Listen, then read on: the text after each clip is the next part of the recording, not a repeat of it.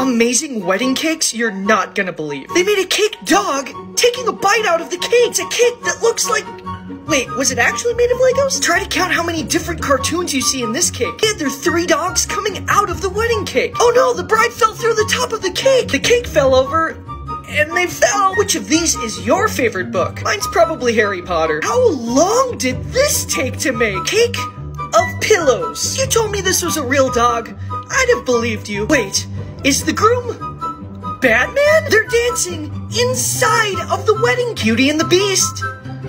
Who's the Beast? This looks like that scene from that Spider-Man movie. Now this is art. Follow for more.